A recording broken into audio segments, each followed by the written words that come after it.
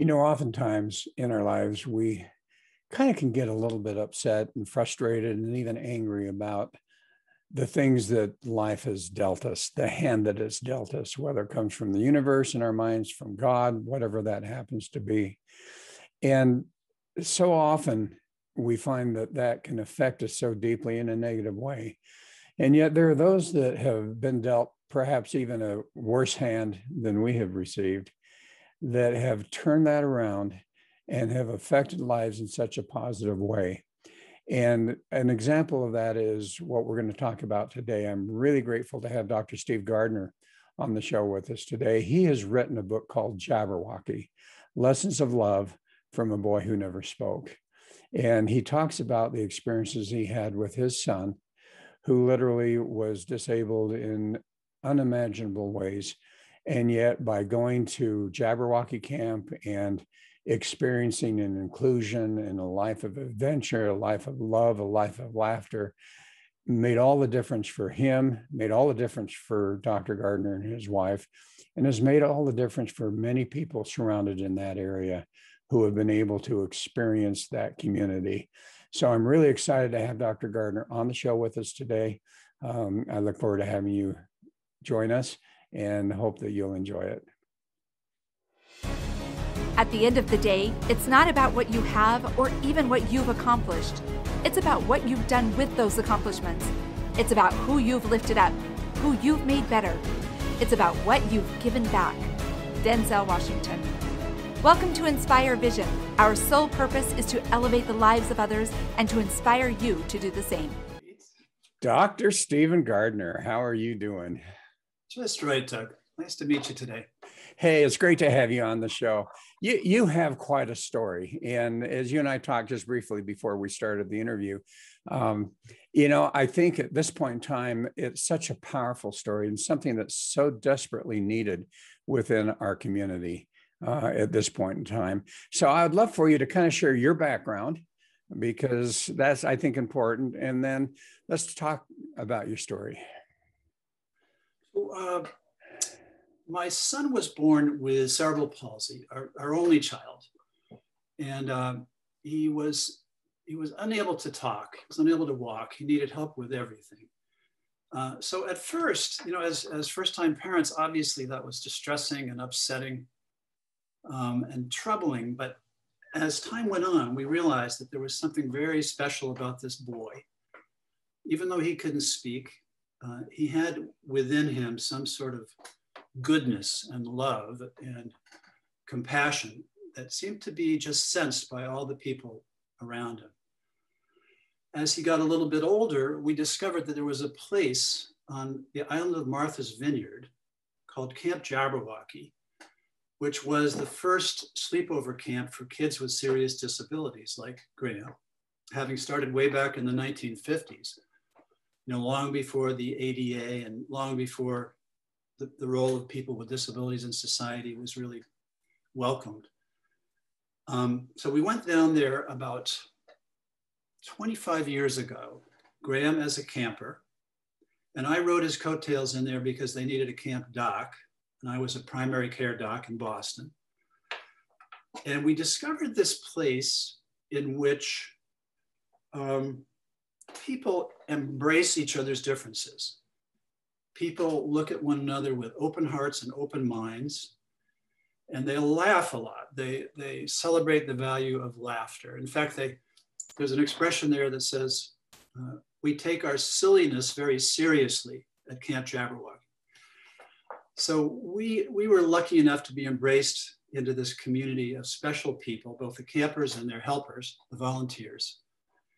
And for 13 summers, we went there and we spent time there having adventures with these people and learning that we could do a lot of things that we might not have expected, like kayaking, even windsurfing with a chair on windsurfer, uh, participating in uh, arts and crafts and theater and stuff like that.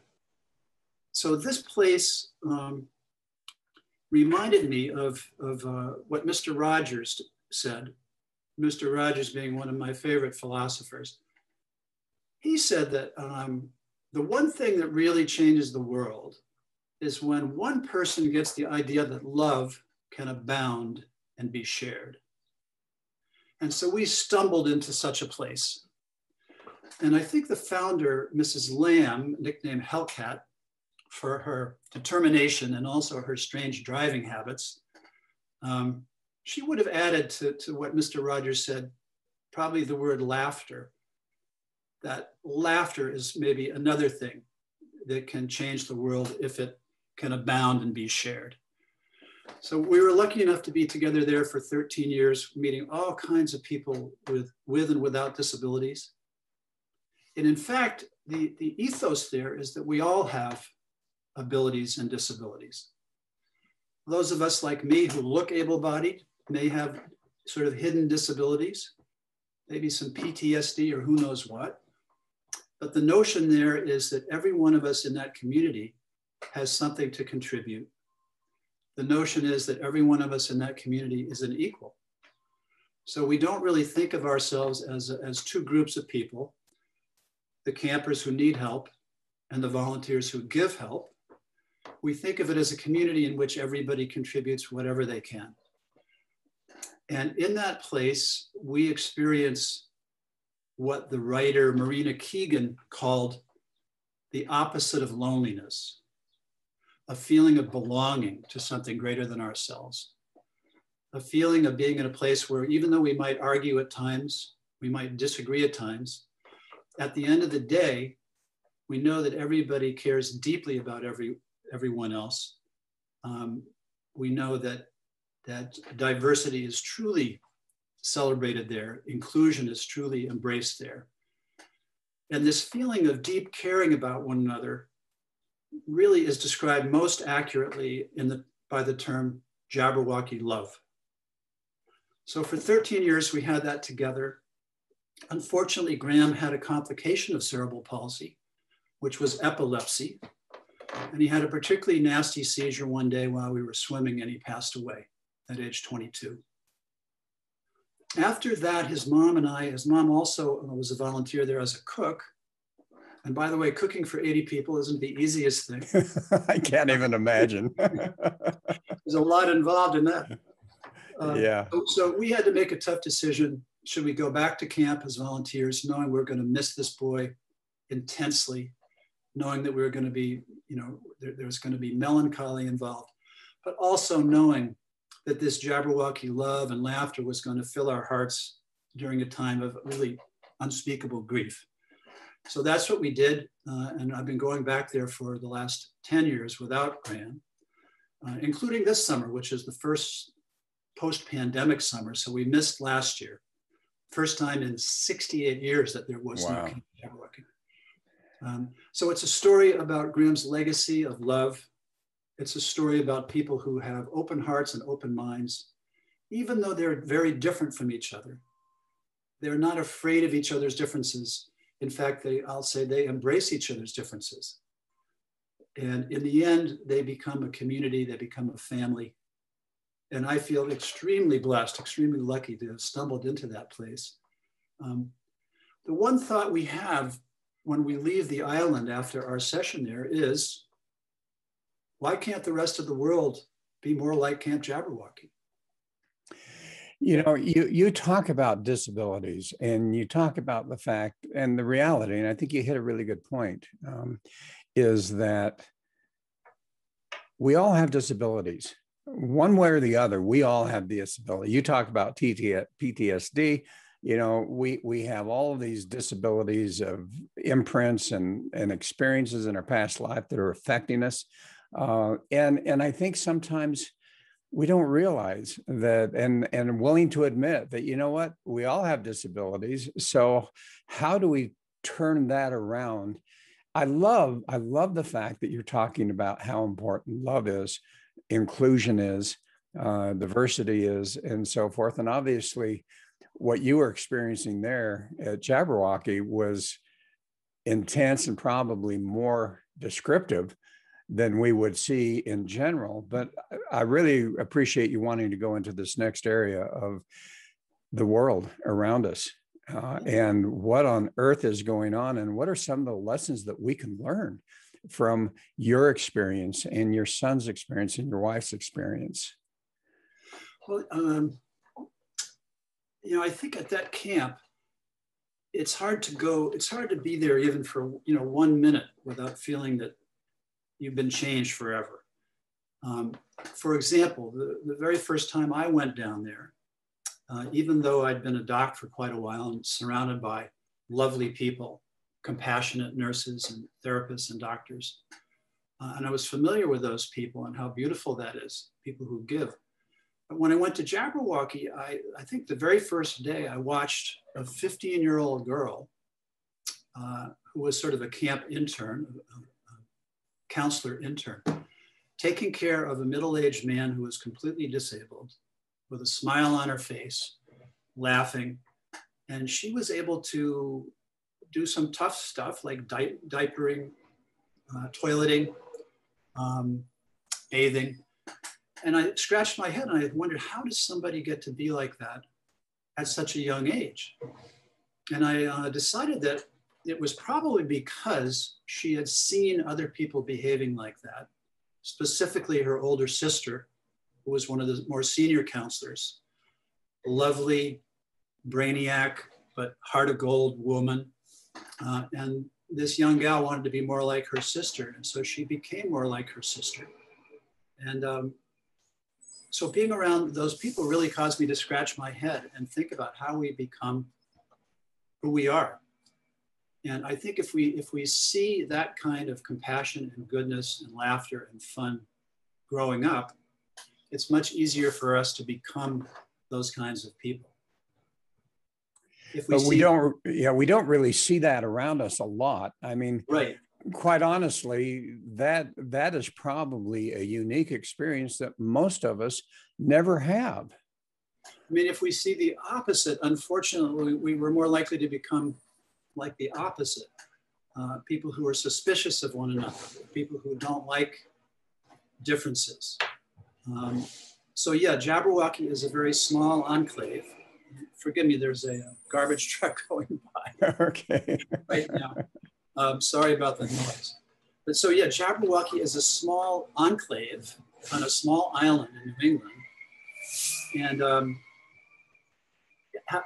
is it possible that a small place can really change a world full of 7 billion people? Probably not.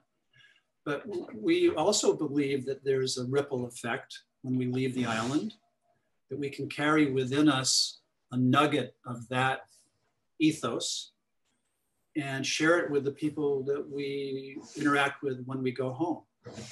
Uh, the sort of the butterfly effect. Yes. A butterfly can flap its wings in New Zealand and somehow perturb the, the air currents in California or something like that. So, so we have the hope that even a small place like Jabberwocky has the potential to make the world a little bit better place.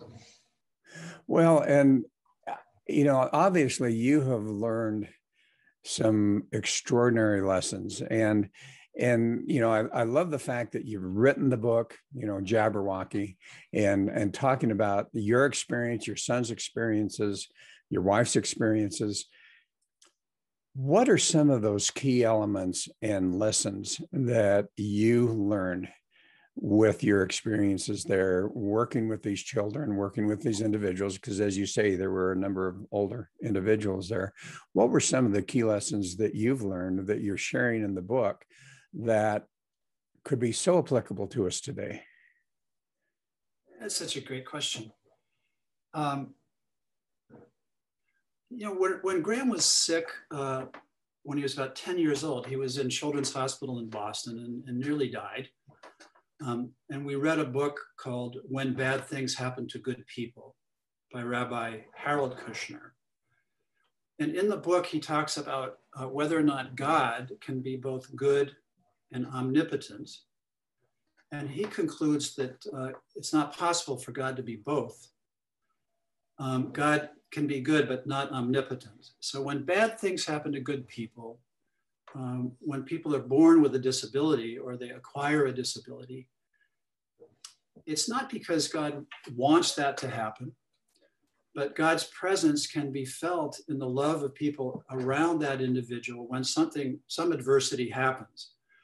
And we all experience adversity, obviously, in lifetime, sooner or later. Yes. And we probably all have this sort of existential question of, you know, why, why did that happen to someone that I love?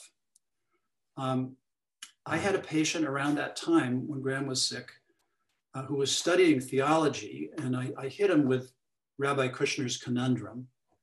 Um, and he thought about it, and I thought about it. And a little later, he sent me a note, and it said, Dear Dr. Gardner, I believe that when Graham got sick, or later when Graham passed away, God was the first one to cry. God was the first one to cry. Meaning, God is here in the goodness around us. God wants us to support one another. But God has nothing to do with these seemingly random developments where somebody's born with cerebral palsy, or somebody gets, uh, gets in an accident or is injured in some way. Uh, so I think you know the lesson from that is, is back where we started. It's about love. It's about how we can all uh, love one another no matter what's happened to somebody. Uh, well, many, of, many of the campers can't even talk. Um, they're nonverbal. And yet we can feel love from them through their eyes, through their gestures, just through their being. And we can give it right back to them. Uh, and those are sort of invisible lines of connection that, that, that produce humanity.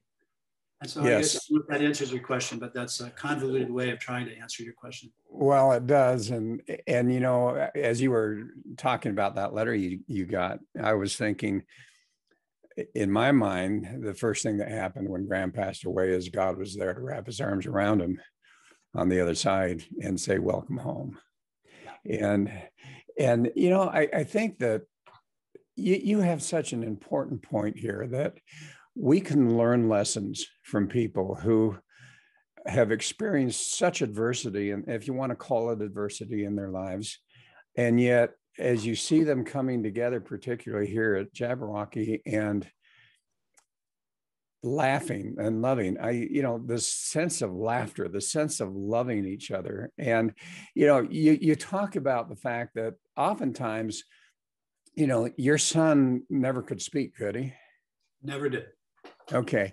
And yet the question is what type of effect did he have on those around him without any type of verbal capabilities? So he communicated, I think, primarily, Doug, through his eyes. And he had these beautiful hazel eyes. Um, and you could just feel, you could just feel the emotions coming from him. Uh, a great way of, of, articulating that comes from Winnie the Pooh, actually. Okay. so uh, Piglet, Piglet one day said to Winnie the Pooh, "Hey, how do you spell love?" And Pooh said, "We don't spell love, we feel it." And I think that kind of sums it up.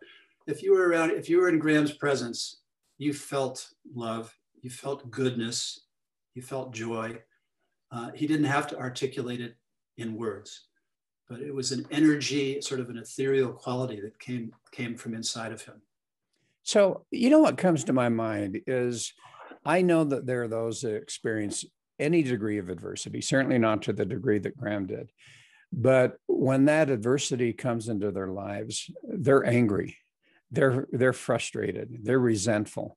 How on earth were you able to help Graham or did it come innately from him to avoid that sense of anger and frustration and resentment that why did this happen to me? to a sense as you say that where he just really exhibited and exuded love and kindness. Yeah. I'll just quickly tell you and your audience a story about fourth grade. Uh, we decided to put graham into uh, an inclusion class where he was with other uh, able-bodied kids. And his teacher came up with an idea called the designated driver, uh, in which she would assign another uh, child each day to push Graham in his wheelchair to all the activities at school, so to assembly and recess, wherever they might go. And his mom and I were a little apprehensive about that at first. We wondered if they might there might be some resentment. Maybe the parents might think it was awkward, some of the teachers. But it turned out that the designated driver became a coveted role for his, his peers in fourth grade.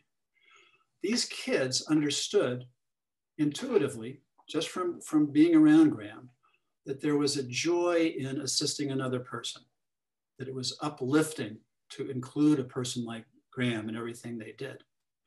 And so the fact that these sort of charismatic, cool kids in his classroom embraced him from the very beginning opened Cynthia's in my eyes. And we realized that young people don't intuitively uh, worry about differences. They, they don't intuitively um, resent people who were different. In fact, quite the opposite. They seemed willing to um, embrace him and include him from the beginning. And a lot of that did have to do with his own charisma, his own special qualities that we've been talking about. So once Cynthia and I realized that he was impacting people in that way, what might have seemed like a very negative, frightening experience turned around into actually a very positive, uplifting experience. And I, I, I don't think it's an exaggeration to say that he changed the whole school on some level. He was the first guy to be, first seriously disabled kid to be brought into a full inclusion classroom. Um, and I think he, he literally uh, enriched that whole school. Wow. And and you know, you you talk about that. And I think so often we don't realize that just as a single individual, the impact that you can have. You talk about the butterfly effect, which I I love that concept. But the fact that here he is disabled, can't talk, and yet his spirit and who he was brought about such a sense of love and kindness and inclusion throughout his entire school. Yeah, that's right. And, and, and, even beyond throughout the rest of his, his life, uh, it was that way. So, how do we apply that to today? Well, um, I would say it's, it's as simple as this. I think we ourselves need to try to regard the people we meet in life with open hearts and open minds. The same way the Jabberwocky campers look at us when we're down on Martha's Vineyard. Um, if we can have open hearts and open minds, it's possible to embrace people who are different from us and not resent them and not hate them and not create the kind of dissonance that exists in the world right now. That's easily said, maybe not, not, not easily done. But I think, as I mentioned earlier, if you spend a little time at Jabberwocky, it's, it's easier to do that when you leave the island and you, you go back to your normal life because you contain a nugget of that experience in you and, and you know how good it feels when you can behave that way. Well, and the effect that the community had in Jabberwocky, yeah. I, I think that that becomes an important point because how, and again, you know, you talk about laughter, you talk about love, you talk about just inclusion in that small community compared to, you know, what we have around us. Uh, and yet, how how important do you think that can be, and how do we apply that? I mean, let's honestly talk. How do we apply that based on your experience and seeing this into our real world here, where we are experiencing the things that we're experiencing right now? as far as the anger and the frustration and and all of that that's a tough one i wish i was smart enough to answer that particularly um, I, I, can go back to the very beginning of jabberwocky which was 1953 and mrs lamb was a speech therapist in a, a, a factory town called fall river massachusetts and she was visiting kids like Graham uh, and helping them with speech.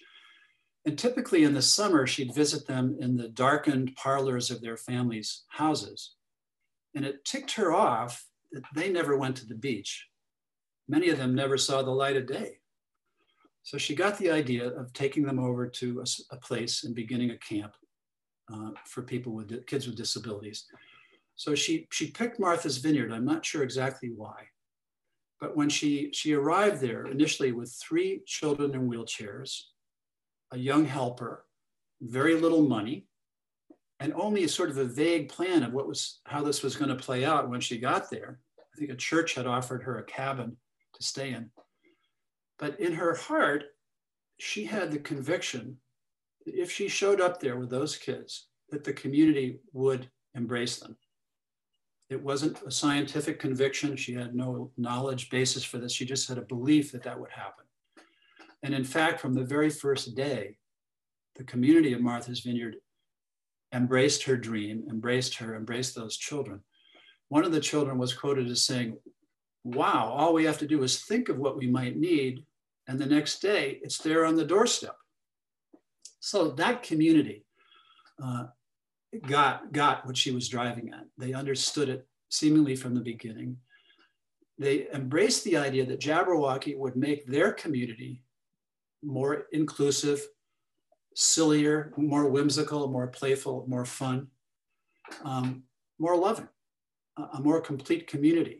After all, uh, the vineyard is a place where there are a lot of folks uh, who, are, who are, have deep pockets. Yeah. And they're and they're well-to-do, uh, and there there are some enclaves there of yacht clubs and all that kind of stuff. But those people grasped the idea of what Mrs. Lamb was trying to get going there. Um, and so I guess the question is why, why couldn't the rest of the world or the rest of the country em- embrace the same notion the way uh, the community of Martha's Vineyard did? And maybe it's just that they haven't seen enough of it. You know, maybe this, maybe it's just that a lot of the world, a lot of uh, even the United States, uh, has never seen an example like Mrs. Lamb and Camp Jabberwocky and Graham uh, to draw from. Yeah, and and you know it's interesting when you when you talk about that that we've never experienced it, and you know what's interesting is once you've experienced it, that changes your whole life, and all of a sudden you become an advocate for that type of experience and that type of community. Now, yeah. with your with your book, you know, it's like lessons of love, you know, from a boy who never spoke. Um, what are some of those lessons? I'd, I'd, love for you to share with the audience a few of those lessons that you've written in the book uh, that perhaps we can touch the lives of some people that are listening. Uh, there's one story about uh, the yurt that we have at, at Jabberwocky. Uh, and some of your viewers and listeners may know what a yurt is. It's a round building um, that was, originally was designed by nomads in the Far East to deflect wind, I think. But at Jabberwocky, we have a yurt that's used for uh, dance and sometimes for meditative activities. Um, it's a quieter place than the rest of this raucous campus where a lot of silliness and zaniness, zaniness are going on. Uh, one day, Graham was in the yurt with his two counselors, two brilliant, lovely, kind young women. Um, and they realized that Graham wanted to try to walk which was something that he struggled to do. He really never could do it very well. But once in a while, he could put one foot in front of another with help, with support, and take a few steps. And it gave him a lot of pride to, to do that. So they spent maybe a half an hour to 45 minutes, one on each arm, walking him around the perimeter of the yurt um, painstakingly. And it was a huge effort by all three of them.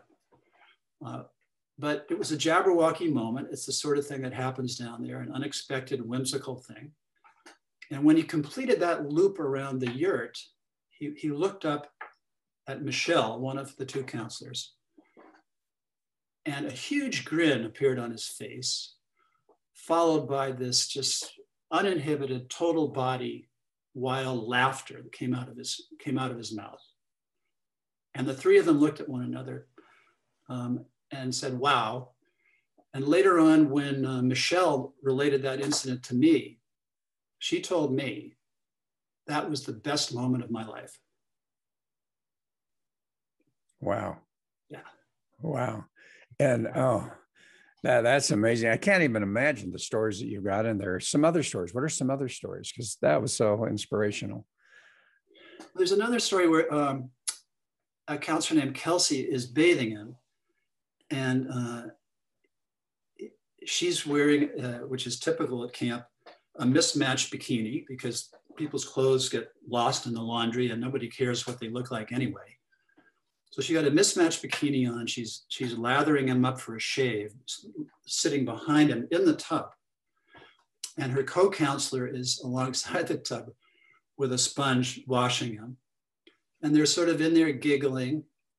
Uh, and by chance, Kelsey's mom um, shows up that day to bring the counselors a goodie bag because they never have time to get stuff for themselves. Treats, you know, shampoo, cookies, candy, toothpaste. So her mom showed up and sort of cracked open the door to the cabin and observed this incredibly poignant, sort of personal uh, scene playing out. And she saw her daughter there whistling while she was uh, lathering Graham up for a shave in this goofy outfit. And uh, she teared up. And later on, she wrote me a letter and said that in that moment, she realized uh, she realized who her daughter was. I think that it was a time when the daughter was about to embark on a college tour, a search for colleges. But the mom wrote me and said, you know, a lot of that doesn't really matter anymore because I, when I saw that scene play out in front of my eyes, I already realized who my daughter is. Well, and you know what? You bring up a really significant point in my mind about who we really are. I, I think so often, I know I'm I'm trying to start to work with with some some folks that have experienced some real tough things in their lives and are coming out of a situation where they're not quite sure what to do and and what their life is going to look like. And and there's so much guilt and shame and, and things that have gone on there. And the reality is i'm not sure that we all realize the goodness that is in each one of us and all it takes is something like that experience to recognize it. Yeah. I think in all the years that CAMP has been in existence, uh, there's never been a single volunteer who walked away from there without saying that they got more out of it than they gave to it. So the, the notion of giving, uh, giving a part of ourselves is the one true gift. And maybe that's Ralph Waldo Emerson or someone like that. But when we give a portion of ourselves, that's the one true gift. And it boomerangs back around and, it enriches us every time. Yes. And, and it doesn't have to be a Jabberwocky. It, it can be just a smile, a hug, whatever that happens to be to someone that seems to have that emotional need. So, so many people have been dealt with what they would say is a bad hand they they just their life isn't what they wished it had been. Uh, they're frustrated they're angry. How do they live life fully regardless of those? And and we're not talking about people who have become you know severely disabled or even you know reasonably disabled but we're talking about in general. I was born in a situation that is not good. I you know i have i don't have parents or i'm homeless or whatever that has happens to be what has been your experience and lessons learned on how do they live fully regardless of whatever hand that they've been dealt? If they're lucky you know they'll run into somebody who's been to camp jabberwocky or one of its sister camps or or they'll have a neighbor who, who gets that. Um, I've found that, you know, paradoxically, when, when I feel poorly, uh, when I feel put upon or whatever, if I'm able to do even a small gesture for someone else, that always makes me feel better. So participating in whatever way in some small form of altruism or charity uh, to assist other people will always make people feel better uh, even people who are in rough shape themselves, um, trying to find other people that they can laugh with um, is therapeutic and cathartic. Um, we talked earlier about um, how important laughter is at Jabberwocky and silliness and whimsicality. And when those people get together, it sort of all bets are off. There's no political correctness involved. Um, so the more laughter, the better. And we, we take our silliness very seriously. So for people like the ones you're talking about, if they can somehow find a community in which they're encouraged uh, to laugh and be silly, um, to express themselves and not worry about offending anybody, that's a nice thing, but it, it, it's not available to ev- everybody in that situation, unfortunately. So, how do we help? How do we, as individuals who have the ability to do that, go in and help these communities, help these individuals? Uh, and you know, I don't want to ask you the whole research on laughter because that would be unfair. I've read a couple of things here and there, and I don't remember everything that I read. But, but you know, laughter, adventure. Um, I remember yeah. a couple of years ago, and you know, particularly within the pandemic. Um, you know, I'm I was here home alone, and you know, for for almost a year, and one of the things I realized is I have got to get out and have adventure. I've got to overcome this emotional yeah. stuff that I'm experiencing and, and, have adventure and have fun. Um, how can we bring that into the lives of those around us? And as you say, we can't necessarily go into some of these other communities, but I guarantee you, our neighbor or one of our neighbors needs that. I've always loved uh, the expression from the Talmud that uh, whosoever saves even one life saves mankind entirely. And I would just, I mean, that's a dramatic statement. I would paraphrase that by saying, uh, whosoever can enrich even one life enriches mankind entirely. In other words, you and I can't fix the problems of 7 billion souls. Um, but even if we even if we assist one other human being and get them to laugh and get them moving in a more positive direction, in an ethereal way, that helps all that helps all of mankind. Uh, I, I, believe that's true. So I, I, think that the, the experience of Jabberwocky, what's happened on Martha's Vineyard, has in effect been exported over the years from that island to wherever those people ended up around this country and elsewhere. And one would hope that they've, they've carried a bit of that spirit of altruism and silliness and love with them to the communities they come from and shared it with at least one other soul. Well, and and I think as you've mentioned, feeling that sense of love isn't necessarily even by a touch, although that really helps but even being, I'm sure, even being in Graham's presence, you could feel that yeah. sense of love.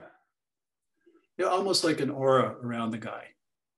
Um, in fact, I took some photographs over the years, which made me scratch my head because some of them actually looked as if there was a halo over his head. um, they, were, they were probably, you know, artifacts of the printing process or something, but yeah. I, I interpreted them uh, a little differently. Um, uh, may I remark on the laughter research thing that you? Please, absolutely, please. I think there's some folks out at Stanford who are literally studying uh, the science beneath being silly and laughing and teasing teasing people. And what I think they've discovered is that, as we might expect, the feel-good hormones tend to go up when people are laughing a lot. So things like endorphins, a, a hormone called oxytocin, which is known for going up during sex, by the way. Uh, and meanwhile, the stress hormone cortisol actually goes down. So uh, what they're really what they're saying is that when we're laughing a lot, it's very similar to exercising, meditating, and having sex all at the same time. So that's sort of a joke. it's sort of a, a Stanford joke but I think there's uh, I think there's something to that. Um, it's therapeutic to be silly. It's therapeutic to be whimsical and playful. It's therapeutic to tease each other and to laugh. And now we know there's a little bit of science underneath that. We already knew it was true, right? But but now we kind of understand better what the science is. Well, and you know, I, I see this in different words, but this whole concept of love, laugh, live yeah. type of thing. And and I think that that that becomes such an important aspect to anyone's life if they can realize that if they can love, if they can laugh, they're going to live and and really experience a different life and and what i appreciate about your book and what i appreciate about what you're doing in the message is that you know you're saying hey just and i loved what the quote out of the talmud that you know just one affecting one life yeah. can affect many absolutely so what would be your message in today's environment what would be your message to the audience and in general the people of the world based on your experiences with Graham and your experiences at Jabberwocky and in general, what would be your message to them? I believe that I'm going to paraphrase uh, Rabbi Lawrence Kushner, an, another author. He said that you know we all have invisible lines of connection, and sometimes they're hard to decipher and hard to see. Um, but to me, what that really means is that we are all one human family. We're, we're divided up and we're polarized and a whole bunch of stuff right now. But at the end of the day, it's possible to think of us all as part of one community, one human family, um, in which we're all equals. And the ones who can do a little bit more should do a little bit more and the ones who need help deserve, deserve help. Um, and eventually those two camps sort of blend because in the end, we, we all kind of need help at some point. Yeah. Um, so I guess to try to answer your question succinctly, I would say it's just the notion that we all belong together. Um, we all belong to this one family that at times gets very fragmented. Uh, but under the right circumstances, it can, it can be brought together in a way where our hearts and our minds are opened up to one another. And I suppose if we want to really experience something at a higher level, touch someone else's life. And I love what you said about that. That that is kind of obtuse thinking, but the reality is, is, is if we can reach out and touch someone else's life, it's going to do something for us. Indeed. Absolutely. Yeah. Well, Dr. Steve, what a wonderful message. Uh, it's just amazing and, and what wonderful experiences and a willingness to share those experiences with particularly in your book and, and with people in general uh, i can tell you i really appreciate it it's been my it's been a pleasure and it's been wonderful to hear feedback from people who might have struggled with some of the issues that you brought up today and who felt that graham's story assisted them a little bit in under, understanding better uh, what it what it meant to them. Well, and absolutely, and and the stories of people's lives can make such a difference if they're willing to share it, and uh, oftentimes people aren't willing to share that. So your transparency, your your willingness to share that is is amazing, and certainly major kudos to you. So, Dr. Steve, thanks so much for being on the show. Dr. Doug, thank you for having me on. Really appreciate it, folks. Thanks for listening. I know you enjoyed this. Where do they find your book? Jabberwockybook.com. That's all they need to know. It's available everywhere and it's ex explained on the website. So uh, one word, jabberwockybook.com. And that is spelled J A B B E R W O C K Y. Exactly. Dot com. okay. Hey, yeah. thanks so much. Pleasure, Doug. Keep up the good work. Nice to meet you. Good to meet you. Folks, thanks for listening. Hope you'll join us again soon. Take care.